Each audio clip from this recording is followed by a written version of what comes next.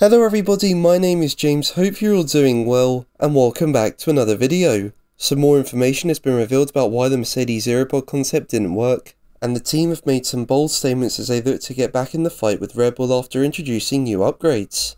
Make sure to like the video, and subscribe for more Formula 1 content, but let's jump straight into the news. So let's start with McLaren, where team boss Andrea Stella has explained why the Mercedes Zeropod concept was always likely to fail. As we know, Mercedes introduced this concept at the start of 2022, and on paper it looked like a very good idea, but in reality, it just didn't work, and the team were uncompetitive for most of the season. But towards the end, they became the second fastest team, and even comfortably won the Brazilian Grand Prix, giving the team hope that it was the right way to go for 2023. So they stuck with the Zero Pods, but it just didn't work out for them. While Mercedes had a decent race in Melbourne, they just didn't have the pace in Saudi Arabia, Bahrain, Miami or Baku. This forced Mercedes to switch its concept, which saw the team get rid of the zero pod and introduce a wider sidepod that had more of a downwash solution. Speaking about the benefits of wider sidepods, Stella said, I would say wide sidepods is actually the primary concept that seems to interact very well with the floor. The sidepods, in simple terms, they act a bit like miniskirts. So aerodynamically, having the wide side pods helps the suction of air to the floor.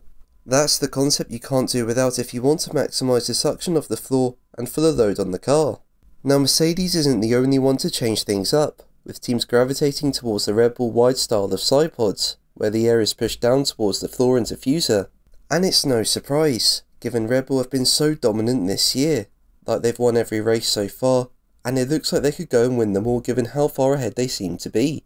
But it did look like Mercedes made a promising step in Barcelona, and even though they were quite far behind Red Bull towards the end of the race, team boss Toto Wolff did say that Lewis Hamilton was cruising at the end, meaning the gap could have been smaller.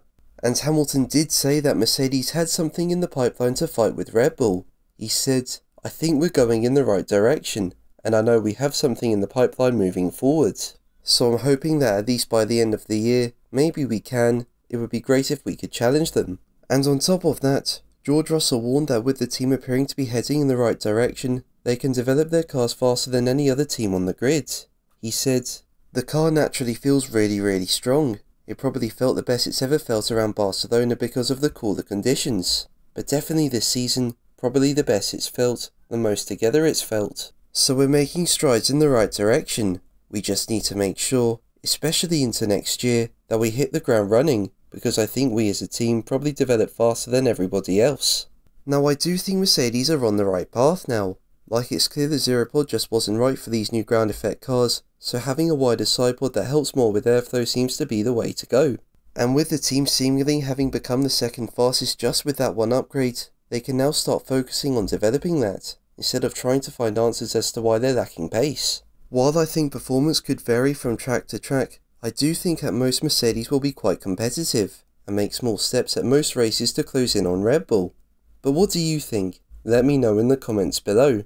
But that's going to be the video from me today. Thank you ever so much for watching. Make sure to like and subscribe for more videos and until the next one, take care